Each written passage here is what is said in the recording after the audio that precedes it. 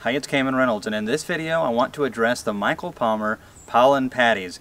It's a little bit of a different variation, but we made a video. I'm going to leave it right up here. You can see how to make these yourself, and a lot of people were asking how long do they store, what's the best way to store them, and so I tried out a couple different methods, and I didn't want to post it really quickly because I wanted to give about two months time in each method to see how they work. So I did two months in a deep freezer, two months in a refrigerator, all the same recipe, and then two months just leaving them in a container just like this one sitting inside the house. Now, I don't have that for the video because I actually ended up using that the other day uh, without meaning to, but it is gone. But there's no mold or anything like that, and it worked pretty good. We'll, we'll talk more about that in a second. First, let's get into this hive, and then we're going to apply some of this patty to the hive, and we'll address some of the issues and the nice things about this pollen patty mix. One is the fact that it is very affordable. It has been raining on us all day long. I don't know if you can hear the thunder in the background, but I've been rained on twice today, but just that time of the year in spring and you gotta work the bees.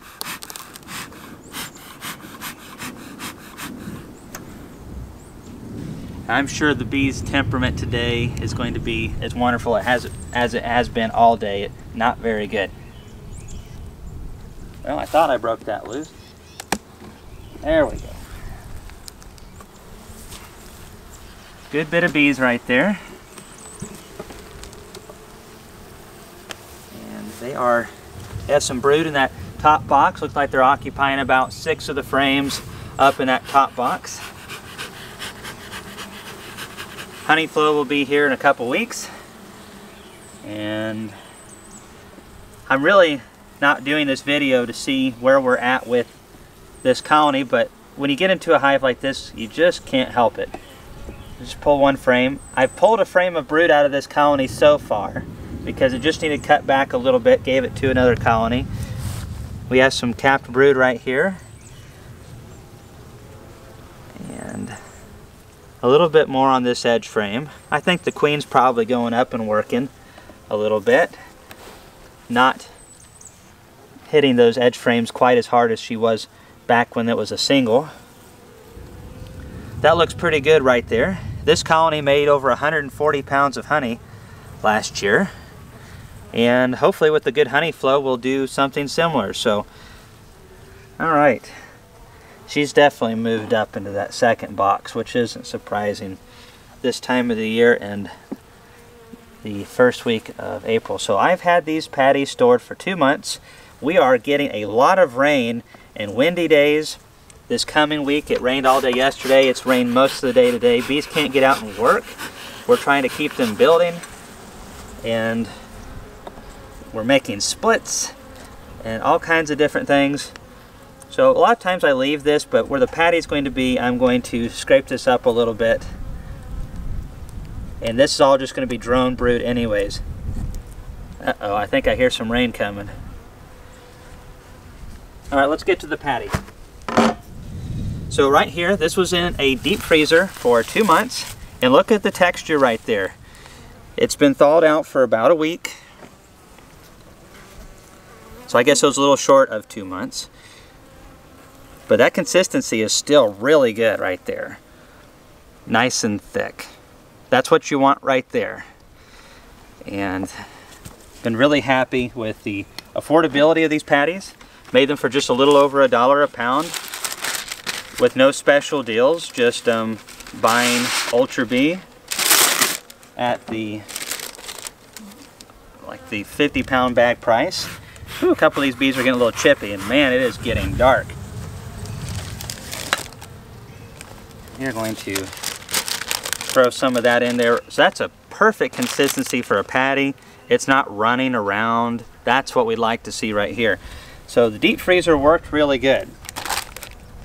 And you can see this was the same way it was with the one that I left just in my room. And it's very hard on the edges right here where it was not quite covered with this saran wrap right here. So it will dry out over time, but it has done really good on colonies like this that are strong. It will it won't dry out in the, the time frame that they'll eat it. It's the little colonies that take a, a while to eat it that are the problem with this drying out. Now this in the refrigerator, same recipe, it is thinner. I mean, look how easy it is to move that. So I don't know, we'll have to do another trial later and see if that is normal with storing it in the freezer, freezer in a fridge, sorry, in a Ziploc. But this is a little bit looser than I, what I like it to be because that's going to run. That's definitely running in this bag. It just moves around quite a bit. Some of it's just the weight in the flexible bag, but all we have to do is add a little bit of sugar or add a, a little bit more Ultra Bee that we can kind of work into this and get the thickness back to where we want it. Because I don't want this squirting out when I put these boxes back and running down all over the brood and in the larvae. So as far as storage goes, that's two months. I'd say in the freezer you could probably store these things for a year.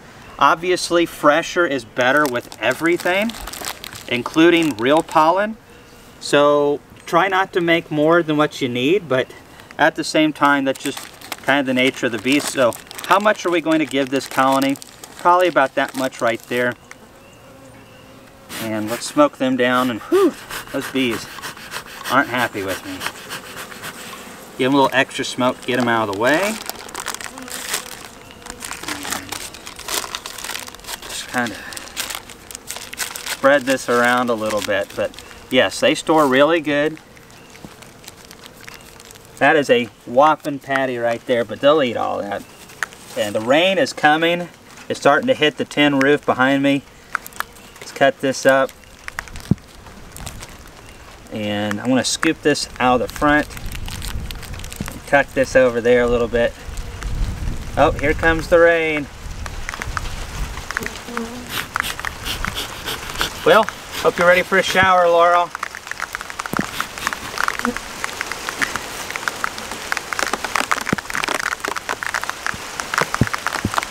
Here we go. Thanks for watching the videos.